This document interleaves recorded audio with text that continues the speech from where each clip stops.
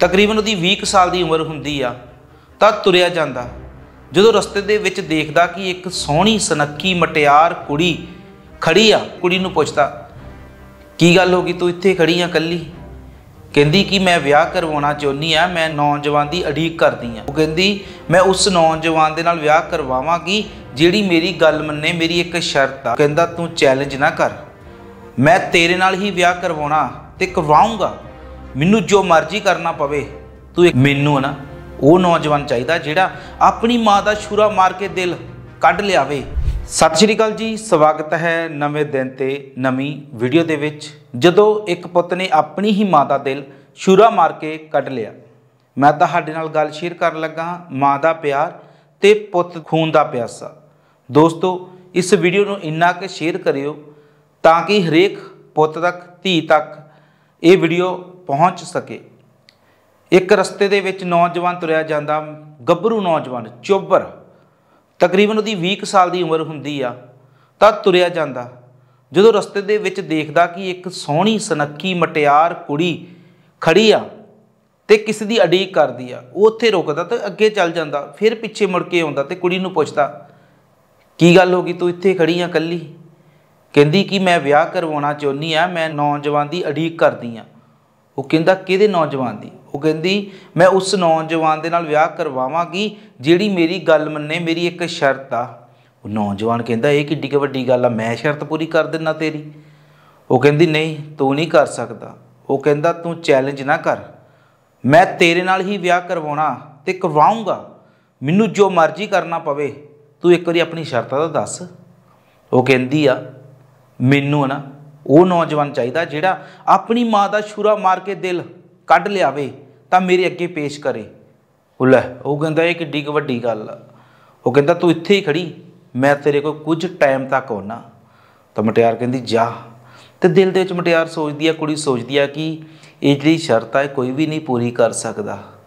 ਮਾਵਾਂ ਹੁੰਦੇ ਇਦਾਂ ਦੀਆਂ ਵਾ, ਕੋਈ ਪੁੱਤ ਇਦਾਂ ਦਾ ਨਹੀਂ ਹੁੰਦਾ ਕਿ ਆਪਣੀ ਹੀ ਮਾਂ ਦਾ ਦਿਲ ਕੱਢ ਲਵੇ।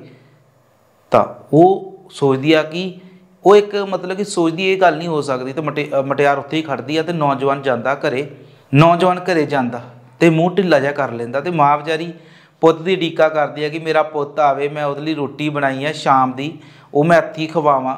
ਤਾਂ ਜਦੋਂ ਮਾਂ ਦੇਖਦੀ ਕਿ ਪੁੱਤ ਦਾ ਮੂੰਹ ਤਾਂ ਉਤਰਿਆ ਹੋਇਆ ਵਾ, ਤਾਂ ਮਾਂ ਉੱਠਦੀ ਆ, ਮਾਂ ਕਹਿੰਦੀ, ਹਾਏ, ਮੈਂ ਮਰ ਜਾ ਪੁੱਤ, ਤੇਰੇ ਮੂੰਹ ਨੂੰ ਕੀ ਹੋਇਆ? ਮੇਰਾ ਪੁੱਤ ਦੁਖੀ ਕਾਤੋਂ ਆ? ਕਹਿੰਦਾ, ਮਾਂ, ਬਸ ਕਰ, ਮੈਂ ਨਹੀਂ ਕੁਝ ਦੱਸ ਸਕਦਾ ਤੈਨੂੰ। ਕਹਿੰਦੀ, ਪੁੱਤ, ਤੂੰ ਨਾ ਵੀ ਦੱਸ ਨਾ, ਮੈਨੂੰ ਤਾਂ ਵੀ ਸਭ ਕੁਝ ਪਤਾ। ਦੱਸ, ਤੂੰ ਆਪਣੇ ਦਿਲ ਦੀ ਗੱਲ ਦੱਸ। ਉਹ ਗੱਲ ਮੈਂ ਪੂਰੀ ਕਰਾਂਗੀ। ਮਾਂ ਨੂੰ ਥੋੜੀ ਥੋੜੀ ਨਾ ਦਿਲ ਨੂੰ ਸਮਝ ਲੱਗਣ ਲੱਗ ਪਈ। ਮਾਵਾਂ ਹੁੰਦੇ ਇਦਾਂ ਦੀਆਂ ਵਾ ਦੋਸਤੋ।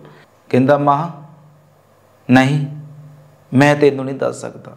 ਮਾਂ ਕਹਿੰਦੀ, ਪੁੱਤ, ਮੈਂ ਤੈਨੂੰ, ਤੇਰੇ ਨਾਲੋਂ 9 ਮਹੀਨੇ ਜ਼ਿਆਦਾ ਜਾਣਦੀ ਆ।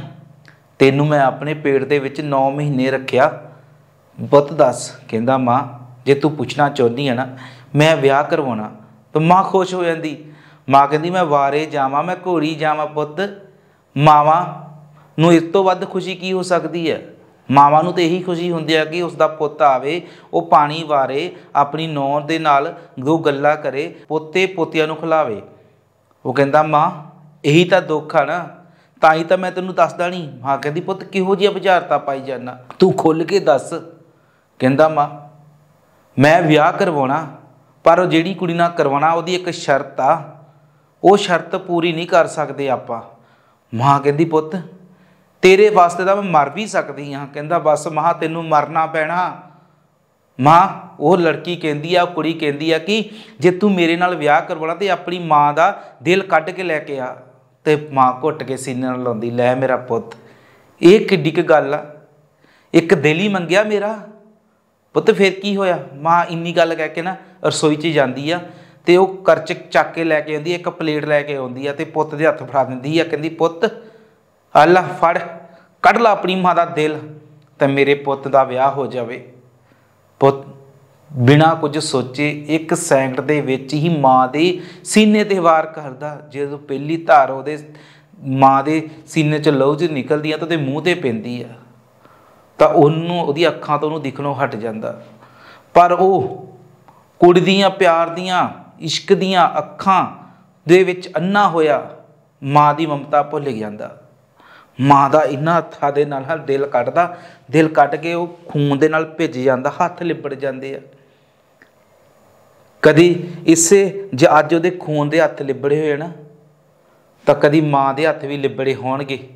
ਉਹ ਟਾਲਟ ਦੇ ਨਾਲ, ਉਹ ਪਿਸ਼ਾਬ ਦੇ ਨਾਲ ਜਦੋਂ ਉਹ ਆਪਣੇ ਹੱਥਾਂ ਦੇ ਨਾਲ ਪੁੱਤ ਨੂੰ ਚੱਕਦੀ ਹੋਵੇਗੀ, ਮਾਂ, ਆਪ ਗਿੱਲੀ ਥਾਂ ਤੇ ਸੌ ਜਾਂਦੀ ਆ, ਪੁੱਤ ਨੂੰ ਸੁੱਕੀ ਥਾਂ ਤੇ ਪਾਉਂਦੀ ਆ, ਇਹ ਹੁੰਦੀ ਆ ਮਾਂ। ਉਹ ਕੀ ਕਰਦਾ, ਉਹ ਪਲੇਟ ਦੇ ਵਿੱਚ ਰਮਾਲ ਤੋਂ ਨਾਲ ਦਿਲ ਨੂੰ ਢੱਕ ਜਾਂਦਾ ਤੇ ਮਾਂ ਦੀ ਲਾਸ਼ ਨੂੰ ਉੱਥੇ ਹੀ ਸਿੱਟ ਜਾਂਦਾ ਤੇ ਤੁਰਿਆ ਜਾਂਦਾ, ਭੱਜਾ ਜਾਂਦਾ। ਤੇ ਰਸਤੇ ਦੇ ਵਿੱਚ ਸੋਚਦਾ ਕਿ ਕੁੜੀ ਖੁਸ਼ ਹੋ ਜਾਵੇਗੀ, ਹੁਣ ਤਾਂ ਮੇਰੇ ਨਾਲ ਵਿਆਹ ਕਰਵਾਵੇਗੀ।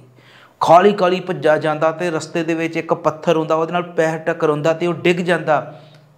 ਜਦੋਂ ਡਿੱਗਦਾ ਨਾ, ਦੋਸਤੋ, ਮਾਂ ਦਾ ਸਰੀਰ ਦੇਖੋ, ਮਾਂ ਦੀ লাশ ਘਰੇ ਪਈ ਹੁੰਦੀ ਹੈ ਤਾਂ ਉਹ ਦਿਲ ਦੇ ਵਿੱਚੋਂ ਆਵਾਜ਼ ਆਉਂਦੀ ਆ, ਦਿਲ ਵੀ ਪਲੇਟ ਤੋਂ ਡਿੱਗਦਾ ਤੇ ਪੱਥਰ ਦੇ ਕੋਲ ਪਿਆ ਹੁੰਦਾ, ਦਿਲ ਦੇ ਵਿੱਚੋਂ ਆਵਾਜ਼ ਹੁੰਦੀ ਆ, ਪੁੱਤਾ, ਮੇਰੇ ਸੋਹਣਿਆ, ਤੇਰੇ ਸੱਟ ਤਾਂ ਨਹੀਂ ਲੱਗੀ?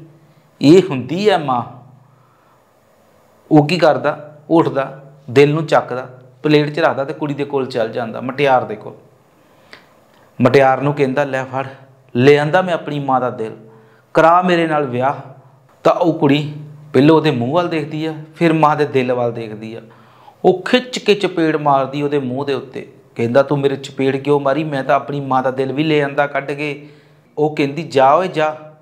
ਜਿਸ ਮਾਂ ਨੇ 9 ਮਹੀਨੇ ਤੈਨੂੰ ਆਪਣੀ ਪੇਟ ਦੇ ਵਿੱਚ ਰੱਖਿਆ, ਜਿਸ ਮਾਂ ਨੇ 9 ਮਹੀਨੇ ਤੈਨੂੰ ਆਪਣੇ ਪੇਟ ਵਿੱਚ ਰੱਖਿਆ, ਸੀਨੇ ਨਾਲ ਲਾਇਆ 20 ਸਾਲ ਤੈਨੂੰ ਦੁੱਖ ਸਹਿ ਕੇ ਪਾਲਿਆ, ਉਹ ਤੂੰ ਉਸ ਮਾਂ ਦਾ ਨਹੀਂ ਬਣਿਆ ਤੇ ਮੈਨੂੰ ਅਜੇ 10 ਮਿੰਟ ਹੀ ਹੋਏ ਤੈਨੂੰ ਮਿਲਿਆ, ਤੂੰ ਮੇਰਾ ਕਿੱਥੋਂ ਬਣ ਜਾਵੇਗਾ? ਜਾ, ਮੈਂ ਨਹੀਂ ਕਰਵਾਉਣਾ ਚਾਹੁੰਦੀ ਤੇਨਾ ਵਿਆਹ। ਤਾਂ ਪੁੱਤ ਨੂੰ ਰੋਣਾ ਆ ਜਾਂਦਾ। ਤਾਂ ਮਾਂ ਦਾ ਦਿਲ ਚੱਕ ਕੇ ਸੀਨਾ ਰੋਂਦਾ, ਮਹਾ, ਮੈਨੂੰ ਮਾਫ ਕਰ ਦੀ। ਮੈਨੂੰ ਨਰਕਾਂ 'ਚ ਵੀ ਥਾਂ ਨਹੀਂ ਮਿਲਣੀ, ਮੈਂ ਇਹੋ ਜਿਹਾ ਪਾਪ ਕਰ ਦਿੱਤਾ। ਦੋਸਤੋ, ਕਦੀ ਵੀ ਲਾਲਚ ਦੇ ਵਿੱਚ ਆ ਕੇ ਕਦੀ ਪੈਸੇ ਦੇ ਘਮੰਡ ਦੇ ਵਿੱਚ ਆ ਕੇ, ਕਦੀ ਹੋਰ ਬੁਰਾਈਆਂ ਦੇ ਵਿੱਚ ਜਿਹੜੀਆਂ ਬੁਰਾਈਆਂ ਆਪਾਂ ਨੂੰ ਘੇਰ ਲੈਂਦੀਆਂ, ਉਹਨਾਂ ਦੇ ਵਿੱਚ ਆਣ ਕੇ ਨਾ ਆਪਣੇ ਮਾਪੇ ਨੂੰ ਨਾ ਭੁੱਲੋ। ਮਾਪੇ ਨੂੰ ਨਹੀਂ ਭੁੱਲਣਾ ਚਾਹੀਦਾ। ਕਹਿੰਦੇ ਨੇ ਕਿ ਜਦੋਂ ਮਾਂ ਆਪਣੇ ਬੱਚੇ ਨੂੰ ਜਨਮ ਦਿੰਦੀ ਆ ਨਾ, ਜਿੰਨੀਆਂ ਕਹਿੰਦੇ ਆਪਣੇ ਸਰੀਰ ਦੇ ਵਿੱਚ ਹੱਡੀਆਂ ਹੁੰਦੀਆਂ 206 ਹੱਡੀਆਂ ਹੁੰਦੀਆਂ, ਉਹ ਇੱਕ, ਇੱਕੋ ਵਾਰੀ ਟੁੱਟ ਜਾਣ ਤਾਂ ਇੰਨੀ ਤਕਲੀਫ ਹੁੰਦੀ ਆ ਮਾਂ ਨੂੰ ਜਦੋਂ ਆਪਣੇ ਬੱਚੇ ਨੂੰ ਜਨਮ ਦਿੰਦੀ ਆ। ਤੁਸੀਂ ਕਦੀ ਸੋਚਿਆ ਹੋਊਗਾ ਕਿ ਸਾਡੇ ਇੱਕ ਹੱਥ ਦੀ ਹੱਡੀ ਵੀ ਟੁੱਟ ਜਾਵੇ ਤਾਂ ਸਾਡੇ ਕਿੰਨਾ ਦਰਦ ਹੁੰਦਾ। ਤੇ ਉਹ ਮਾਂ ਦੀਆਂ ਦਰਦ ਇੰਨਾ ਜ਼ਿਆਦਾ ਹੁੰਦਾ ਕਿ ਪੂਰੇ ਸਰੀਰ ਦੀਆਂ ਹੱਡੀਆਂ ਟੁੱਟ ਜਾਣ ਤਾਂ ਇੰਨਾ ਦਰਦ ਹੁੰਦਾ ਮਾਂ ਦਾ। ਬੱਚੇ ਨੂੰ ਜਨਮ ਦੇਣ ਲੱਗਿਆ। ਤਾਂ ਉਸ ਤੋਂ ਬਾਅਦ ਮਾਂ ਕਿਵੇਂ ਵੱਡਾ ਕਰਦੀ ਆ? ਤਾਂ ਜਦੋਂ ਪੁੱਤ ਵਿਆਹ ਜਾਂਦੇ ਹਨ, ਕਈ ਪੁੱਤ ਸਾਰੇ ਨਹੀਂ, ਕਈ ਪੁੱਤ, ਕਈ ਧੀਆਂ। ਮੈਂ ਦੋਵਾਂ ਦੀ ਗੱਲ ਕਰਦਾ, ਧੀਆਂ ਮੈਂ ਉਹ ਕਹਿ ਰਿਹਾ ਜਿਹੜੀਆਂ ਨੋਹਾਂ ਹੁੰਦੀਆਂ। ਦੇਖੋ, ਜਿਹੜੀਆਂ ਨਵਾਂ ਮੈਂ ਉਹਨਾਂ ਨੂੰ ਵੀ ਬੇਨਤੀ ਕਰਦਾ ਕਿ ਤੁਸੀਂ ਵੀ ਕਿਸੇ ਦੀਆਂ ਧੀਆਂ ਵਾਂ, ਇਸ ਤਰ੍ਹਾਂ ਨਾ ਕਰਿਆ ਕਰੋ। ਜਿਹਦੇ ਵਿੱਚ ਪੁੱਤ ਦੀ ਵੀ ਗਲਤੀ ਆ, ਕੁਝ ਨੋਹਾਂ ਦੀ ਵੀ ਗਲਤੀ ਆ, ਜਿਹੜੀਆਂ ਕਹਿੰਦੀਆਂ ਕਿ ਮੇਰੇ ਕੋਲ ਨਹੀਂ ਪਾਲ ਹੋਣੀ ਇਹ ਬੁੱਢੜੀ, ਛੱਡਿਆ ਇਹਨੂੰ ਕਿਤੇ ਆਸ਼ਰਮ ਦੇ ਵਿੱਚ, ਤਾਂ ਉਹ ਪੁੱਤ ਨਾ ਚਾਹੁੰਦੇ ਹੋਏ ਕਈ ਕਈ ਪੁੱਤ ਤਾਂ ਚਲੋ ਉਦਾਂ ਹੀ ਛੱਡੇ ਹੁੰਦੇ ਆ, ਕਈ ਨਾ ਚਾਹੁੰਦੇ ਹੋਏ ਵੀ ਮਜਬੂਰ ਹੋ ਜਾਂਦੇ ਆ ਕਿ ਆਪਣੇ ਮਾਂ-ਬਾਪ ਨੂੰ ਆਸ਼ਰਮ ਦੇ ਵਿੱਚ ਛੱਡੇ ਹੁੰਦੇ ਆ। ਤਾਂ ਕਈ ਫਿਰ ਆਣ ਕੇ ਲੰਗਰ ਲਾਉਂਦੇ ਆ ਸ਼ੁਵੀਲਾਂ ਦੇ ਲੰਗਰ ਲਾਉਂਦੇ ਕਿਤੇ ਪਿਓ, ਪੁੱਤ ਨੂੰ ਘਰੇ ਆਵਾਜ਼ ਮਾਰੇ, ਪੁੱਤ, ਮੈਨੂੰ ਪਿਆਸ ਲੱਗੀ ਆ, ਇੱਕ ਘੁੱਟ ਪਾਣੀ ਦਾ ਪਿਲਾ ਦੇ। ਪਤਾ ਕਿਉਂ ਆਵਾਜ਼ ਕੀ ਆਉਂਦੀ ਆ? ਕਹਿੰਦੇ ਆ, ਬੈਠਾ ਰਹਿ ਬੜਿਆ, ਬੈਠਾ ਰਹਿ, ਆਪ ਹੀ ਉੱਠ ਕੇ ਪੀ ਲਾ। ਮੈਂ ਅੱਡੇ ਤੇ ਸ਼ਬੀਲ ਲੱਗੀ ਆ, ਮੈਂ ਉੱਥੇ ਜਲਦੀ ਸੇਵਾ ਕਰਨ ਲੱਗਾ। ਐਦਾਂ ਤੁਹਾਨੂੰ ਸੇਵਾ ਨਹੀਂ ਮਿਲਣੀ।